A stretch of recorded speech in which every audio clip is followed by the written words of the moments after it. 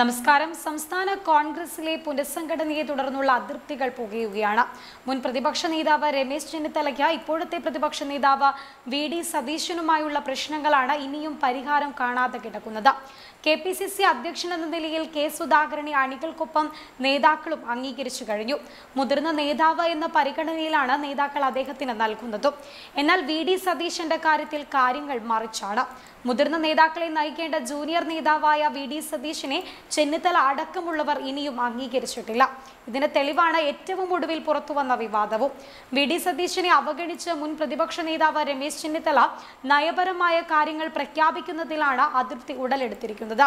ലോകായുക്ത വിഷയത്തിലടക്കം ചെന്നിത്തല പാർട്ടി നേതൃത്വവുമായി ആലോചിക്കാതെ സ്വന്തം നിലയിൽ പോകുമ്പോൾ വേണ്ടത്ര സജീവ ഇടപെടൽ നടത്താൻ വി. ഡി. സതീശനും സാധിക്കുന്നില്ല എന്നതാണ്. ഈ വിഷയം ഇരു നേതാക്കൾക്കിടയിലും ഈഗോ പ്രശ്നമായി വളരുന്നുമുണ്ട്. ലോകായുക്ത ഭേദഗതി ഓർഡിനൻസിനെതിരെ നിരാകരണ പ്രമേയം ആലോചിക്കുമെന്ന രമേശ് ചെന്നിത്തലയുടെ പ്രഖ്യാ പ്രഖ്യാപനം കൂടിയാലോചന ഇല്ലാതെയാണെന്ന് നേതൃത്വം വിലയിരുത്തിയതായി കഴിഞ്ഞ ദിവസം വാർത്ത വന്നിരുന്നു.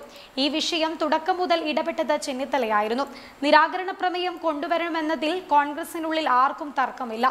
എന്നാൽ പാർട്ടി തലത്തിലോ പാർലമെന്ററി തലത്തിലോ പാർട്ടിയിലോ ചർച്ച ചെയ്യും മുൻപ് തന്നെ രമേശ് ചെന്നിത്തല സ്വന്തം നിലയിൽ പ്രഖ്യാപിച്ചതിനാലാണ് അതിർത്തി ഉടലെടുത്തത്. ഇതിൽ വി ഡി സതീശനും അസ്വസ്ഥനാവുകയും ചെയ്തു. K P K P C C അധ്യക്ഷനോട് പരാതി പറയുകയും ചെയ്തിരുന്നു.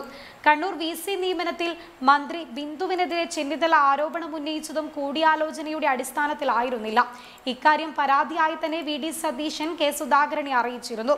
നേരത്തെ ഡീലിറ്റ് വിവാദം രമേശ് ചെന്നിത്തല ഉയർത്തിയപ്പോഴും സതീശൻ ഇടഞ്ഞിരുന്നു. കണ്ണൂർ സർവകലാശാല വൈസ് ചാൻസലർ നിയമനത്തിൽ ഗവർണർക്ക് കത്തെഴുതിയ മന്ത്രി ആർ ബിന്ദുവിന്റെ നടപടി രാഷ്ട്രീയമായി ഉപയോഗിക്കുന്നതിനു പകരം നിയമ പോരാട്ടം നടത്തി പരാജയപ്പെട്ടത് തിരിച്ചടിയായി എന്ന വിലയിരുത്തലും ഈ വിഭാഗത്തിനുള്ളിലുണ്ട്. രമേശ് ചെന്നിത്തല കെ സുധാകരനെ വിളിച്ച് നിലപാട് വിശദീകരിച്ചു. നിരാകരണ പ്രമേയം കൊണ്ടുവരുമെന്നത് പ്രഖ്യാപിച്ച പ്രഖ്യാപിച്ചതല്ലെന്നും ഇനി എന്തു ചെയ്യാമെന്ന് മാധ്യമങ്ങൾ ചോദിച്ചപ്പോൾ പ്രതികരിച്ചതാണെന്നും അദ്ദേഹം പറഞ്ഞു. ഈ വിശദീകരണം പ്രതിപക്ഷ നേതാവ് അംഗീകരിക്കുന്നില്ല. പ്രതിപക്ഷത്തിന്റെ നയം കൂടിയാലോചനകളുടെ അടിസ്ഥാനത്തിൽ ഉത്തരവാദിത്തപ്പെട്ടവർ ചെയ്യേണ്ടതാണെന്നും വി ഡി സതീശൻ കരുതുന്നുണ്ട്. ഇക്കാര്യം നേരിട്ട് രമേശ് ചെന്നിത്തലയുടെ ശ്രദ്ധയിൽപ്പെടുത്താനാണ് അദ്ദേഹം ഒരുങ്ങുന്നത്. രമേശ് ചെന്നിത്തലയ്ക്ക് എതിരായ വാർത്തകൾ സംബന്ധിച്ച് കെ പി സി സിയിൽ ഒരറിവുമില്ല.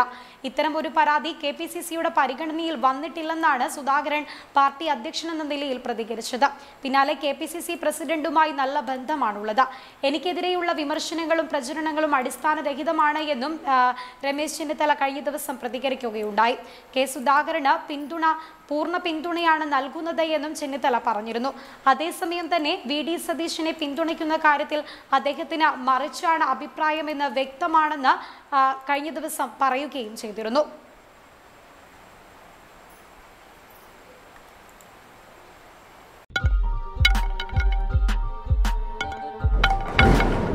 Like and subscribe to Channel Kerala. Channel Kerala, a channel by NBC Broadcasting Limited.